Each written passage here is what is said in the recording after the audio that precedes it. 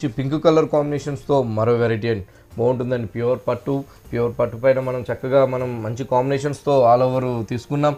ఆ, పళ్ళు చూసినట్లయితే మనకి చక్కగా మనకి రాయల్ బ్లూ కాంబినేషన్ పైన ఒక పికాక్ డిజైన్స్తో చిన్న లీఫ్ డిజైన్స్తో మనం పళ్ళు అంతా కూడా డిజైనర్ పళ్ళు ముప్పై మీటర్ పళ్ళు తీసుకున్నాం.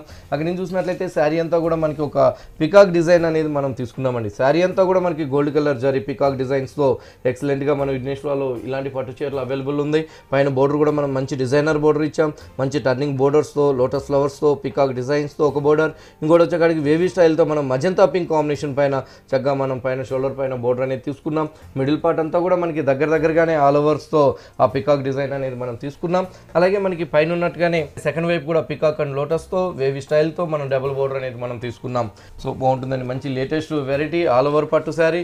బ్లౌజ్ వచ్చేకాడికి మనకి రాయల్ బ్లూ కాంబినేషన్స్తో ఆ బోర్డర్స్ కూడా మనం కంటిన్యూ చేస్తూ తీసుకున్నాం. సో మరి ఇంత మంచి బ్యూటిఫుల్ పట్టు సారీ కాస్ట్ ఎంతండి? ఇంత మంచి ఆల్ ఓవర్ కంచి బోర్డర్స్తో ఉన్న శారీ మన విఘ్నేశ్వర సిల్క్స్లో ఎనిమిది వేల నాలుగు వందల యాభై రూపాయలు పడుతుంది. సో వ్యూస్ చూస్తున్నారు కదా ఇంత మంచి బ్యూటిఫుల్ సారీ కాస్ట్ వచ్చేసి మనకి eight thousand four hundred and fifty రూపీస్కే విఘ్నేశ్వర సిల్క్స్ కొత్తపేట బ్రాంచ్లో అవైలబుల్గా ఉంది. ఇంకొక శారీ చూద్దాం.